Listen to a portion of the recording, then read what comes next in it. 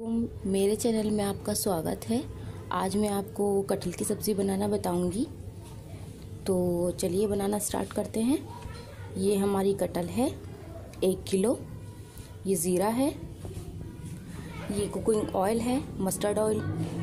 और ये दो चम्मच लाल मिर्च है, दो चम्मच धनिया पाउडर है, आधी से थोड़ी चम्मच ये हल्दी है, और ये एक चम्मच नमक है। सबसे पहले हम कुकर गरम करेंगे। ये हमारा कुकर गरम हो गया है।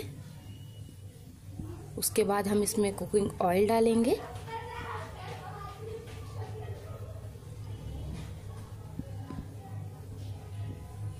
इसे अच्छे से गरम होने देंगे।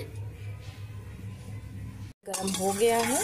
अब हम इसके अंदर कटहल को फ्राई करेंगे। हम कटहल को हल्का लाइट ब्राउन तक होने तक ही इसे हम सोटे करेंगे। ये जो कटहल है वो हल्के ब्राउन हो गई है। बस इसके अंदर अब हम लहसुन और प्याज का पेस्ट डालेंगे। ये हमारा लहसुन और प्याज का पेस्ट है। इसमें हमने तीन प्याज छोटी छोटी मीडियम साइज़ के लिए हैं और आधी लहसुन की पुत्थी ली है।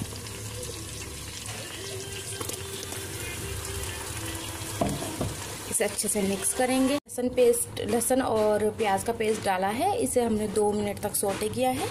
अब हम इसके अंदर ये मसाले मिक्स करेंगे, जिसमें ये दो लाल मिर्च की चम्मच हैं और ये दो चम्मच धनिया पाउडर है, एक चम्मच नमक है और ये आधे चम्मच से थोड़ी कम हल्दी है।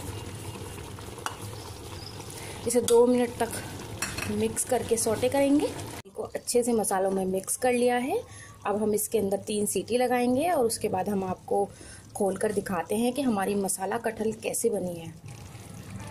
हम इसमें थोड़ा सा ये पानी डालेंगे ताकि हमारी कटहल गल जाए। ये आधे गिलास से थोड़ा सा कम है। उसके बाद हम इसमें तीन सीटी लगाते हैं और आपको दिखाते हैं कि हमारी कटहल कैसी बनी है।